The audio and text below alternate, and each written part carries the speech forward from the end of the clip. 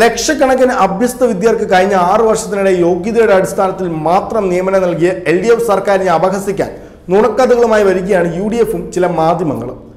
ബന്ധുക്കളിൽ നിന്ന് പോലും കോഴ കൈപ്പറ്റി നിയമനം നടത്തിയവരാണ് ഇപ്പോൾ ഇല്ലാത്ത സജ്ജന പക്ഷപാതത്തെയും ബന്ധു നിയമനത്തെയും കുറിച്ച് വാചകമടിക്കുന്നത്. കഴിഞ്ഞ യു ഡി എഫ് സർക്കാരിന്റെ കാലത്ത് ചട്ടലംഘനത്തിനെതിരെ വ്യാപക പ്രതിഷേധം ഉയർന്നപ്പോൾ മുഖ്യമന്ത്രിയായിരുന്ന ഉമ്മൻചാണ്ടി പറഞ്ഞത് മനസാക്ഷിക്ക് ശരിയെന്ന് തോന്നുന്നത് ചെയ്യുന്നുവെന്നാണ്. പതിമൂവായിരത്തിൽ പരം പേരെയാണ് അനധികൃതമായി നിയമിച്ചത്. അവസാന മന്ത്രിസഭാ യോഗത്തിൽ മാത്രം ആയിരം പേരെ സ്ഥിരപ്പെടുത്തി. ഇതൊന്നും ആരും മറന്നിട്ടില്ല. യോഗ്യത ഇല്ലാഞ്ഞിട്ടും കോൺഗ്രസ് നേതാവായിരുന്ന ഡോക്ടർ ഖാദർ മങ്ങാടിനെ കണ്ണൂർ സർവകലാശാല വൈസ് ചാൻസലറാക്കി. വേണ്ടത്ര അധ്യാപന പരിചയം പോലും ഇദ്ദേഹത്തിനുണ്ടായിരുന്നില്ല. ഡെപ്യൂട്ടേഷൻ പരിചയമാക്കി മാറ്റിയിട്ടും യോഗ്യത തികഞ്ഞിരുന്നുമില്ല. മുസ്ലിം ലീഗ് കൈകാര്യം ചെയ്ത വിദ്യാഭ്യാസ വകുപ്പിൽ വീതം വയ്പായിരുന്നു.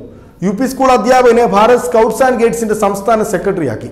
അയോഗ്യനെന്ന് അറിഞ്ഞുകൊണ്ട് ലീഗ് നേതാവിന്റെ ബന്ധുവിനെ ഐ എച്ച് ആർ ഡി ഡയറക്ടറാക്കി. ഉമ്മൻചാണ്ടിയുടെ അടുത്ത ബന്ധു കുഞ്ഞില്ലവളിയെ സഹകരണ പരീക്ഷാ ബോർഡ് ചെയർമാനാക്കിയത് വേണ്ടത്ര യോഗ്യതയില്ലാതെയാണ്. രമേശ് ചെന്നിത്തലയുടെ സഹോദരൻ കേരള ഫീഡ്സിൽ എം ഡി ആയി. മന്ത്രിയായിരുന്ന അനൂപ് ജേക്കബിന്റെ ഭാര്യ മേരി ഗീവർഗീസിനെ യോഗ്യതയില്ലാതെ ഭാഷാ ഇൻസ്റ്റിറ്റ്യൂട്ട് ഡയറക്ടറാക്കി. സ്പീക്കറായിരുന്ന ജി കാർത്തികേയന്റെ ഭാര്യയെ എല്ലാ ചട്ടവും ലംഘിച്ച് സർവജ്ഞാനകോശം ഡയറക്ടറാക്കി. വി എസ് ശിവകുമാറിന്റെ സഹോദരൻ വി എസ് ജയകുമാറിനെ ശബരിമല എക്സിക്യൂട്ടീവ് ഓഫീസറാക്കി. ആ പദവിയിലിരുന്ന് അദ്ദേഹം പണവും തട്ടി. U D F M L A ആയിരിക്കെ R സെൽവരാജിന്റെ മകൾ റാങ്ക് പട്ടികയിൽ ആയിരത്തി മുപ്പത്തിരണ്ടാം സ്ഥാനത്തായിരുന്നിട്ടും വെയർഹൌസിൽ കോർപ്പറേഷൻ അസിസ്റ്റന്റ് മാനേജറാക്കി സ്കൂൾ അധ്യാപകനെ കാലിക്കറ്റ് സർവകലാശാല വൈസ് ചാൻസലറാക്കാൻ ശ്രമിച്ച് നാണം കെട്ട സംഭവം ഉണ്ടായി കഴിഞ്ഞ യു ഡി എഫ് ഭരണകാലത്ത്. നിലവിൽ വള്ളിക്കുന്ന് മണ്ഡലം മുസ്ലിം ലീഗ് പ്രസിഡന്റായ വി പി അബ്ദുൽ ഹമീദിനെയാണ് വൈസ് ചാൻസലറാക്കാൻ അന്നത്തെ വിദ്യാഭ്യാസ മന്ത്രി പി കെ അബ്ദുറബിന്റെ നേതൃത്വത്തിൽ ഉമ്മൻചാണ്ടി സർക്കാർ ശ്രമിച്ചത്. പ്രതിഷേധത്തെ തുടർന്നാണ് ആ ശ്രമം ഉപേക്ഷിച്ചത്. പകരമായി വന്ന ഡോക്ടർ അബ്ദുൾ സലാം പാണക്കാട്ടെത്തി അനുഗ്രഹം വാങ്ങിയാണ് വൈസ് ചാൻസലർ പദവി ഏറ്റെടുത്തത്. കാലാവധി കഴിഞ്ഞ് സലാം ബി ജെ പിയിൽ ചേർന്ന് ന്യൂനപക്ഷ മോർച്ച അഖിലേന്ത്യാ വൈസ് പ്രസിഡന്റ് ആവുകയും ചെയ്തു. വി പി അബ്ദുൾ ഹമീദിനെ വൈസ് ചാൻസലറാക്കാൻ കഴിയാത്തതിന്റെ വിഷയം യു ഡി എഫ് തീർത്തത് ഇദ്ദേഹത്തിന്റെ സഹോദരി പുത്രൻ കെ മുഹമ്മദ് ബഷീറിനെ വൈസ് ചാൻസലറാക്കിയായിരുന്നു.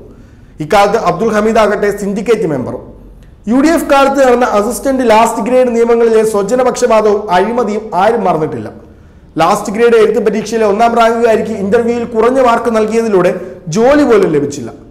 അസിസ്റ്റന്റ് നിയമന പട്ടികയിൽ യു ഡി എഫ് നേതാക്കളുടെ ബന്ധുക്കൾ പലരും ഇടം നേടി ജോലിയും തരപ്പെടുത്തി. എഴുത്ത് പരീക്ഷയിൽ മുന്നിലെത്തിയവരെ ഇന്റർവ്യൂവിൽ തരഞ്ഞാണ് സ്വന്തക്കാർക്ക് യു ഡി എഫ് മുൻഗണന നൽകിയത്. കാസർഗോഡ് ഡി സി സി മുൻ ജനറൽ സെക്രട്ടറിയെ വൈസ് ചാൻസലറായി നിയമിച്ച യു ഡി എഫ് ആണ് നിയമാനുസൃതമുള്ള അധ്യാപക നിയമനത്തിന്റെ പേരിൽ വ്യാജ പ്രചാരണം നടത്തുന്നത്. രണ്ടായിരത്തി പതിമൂന്നിൽ ഉമ്മൻചാണ്ടി മുഖ്യമന്ത്രിയായിരിക്കെയാണ് ഖാദർ മങ്ങാടിനെ കണ്ണൂർ സർവകലാശാല വൈസ് ചാൻസലറായി നിയമിച്ചത്. രണ്ടു തവണ കാസർഗോഡ് ലോക്സഭാ മണ്ഡലത്തിൽ യു ഡി എഫ് സ്ഥാനാർത്ഥിയായിരുന്ന ഇദ്ദേഹത്തിന് നിശ്ചിത യോഗ്യത പോലും ഉണ്ടായിരുന്നില്ല. ഇതോടെ നാല് വർഷം സർവകലാശാല വിവാദങ്ങളുടെ കേന്ദ്രമായി. വ്യാജരേഖ ചമച്ചാണ് Khader Mangad P H D സംഘടിപ്പിച്ചതെന്നായിരുന്നു പ്രധാന ആക്ഷേപം. എഡഡ് സ്ഥാപനമായ Kanhangad Nehru arts and science college principal എന്നത് മാത്രമായിരുന്നു യോഗ്യത. കോളേജിൽ ഇംഗ്ലീഷ് വിഭാഗം സീനിയർ ലെക്ചറായിരുന്ന ഖാദർ മങ്ങാട് രണ്ടായിരത്തി രണ്ടിലാണ് പാർട്ട് ടൈം പി എച്ച് ഡിക്ക് രജിസ്റ്റർ ചെയ്തത്.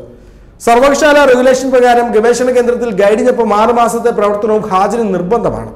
നാല് വർഷത്തെ പഠന ഗവേഷണത്തിന് ശേഷമേ തീസി സമർപ്പിക്കാവൂ. ഇദ്ദേഹം മൂന്ന് വർഷം തികയും മുമ്പ് തീസി സമർപ്പിച്ചു. അക്കാദമിക് കൗൺസിൽ ഇല്ലാതിരുന്ന അന്നത്തെ വീസിൽ നിന്ന് പ്രത്യേക ഇളവ് വാങ്ങിയാണ് ഇത് സംഘടിപ്പിച്ചത്. ആറു മാസത്തെ ഹാജരിനായി വ്യാജരേഖയുണ്ടാക്കി നെഹ്റു കോളേജിൽ ജോലി ചെയ്ത ദിവസങ്ങൾ തന്നെ തലശ്ശേരി ഗവൺമെന്റ് ബ്രണ്ണൻ കോളേജിൽ ഗവേഷണത്തിന് ഹാജരായതായി വിവരാവകാശ രേഖയിലുണ്ട്. മുപ്പത്തിരണ്ട് പേർ അപേക്ഷിച്ച വൈസ് ചാൻസലർ തസ്തികയിൽ പി എച്ച് ഡി ഉണ്ടെന്ന പേരിൽ ഖാദർ മങ്ങാടിന് മാത്രമാണ് അന്ന് ശുപാർശ ചെയ്തത്.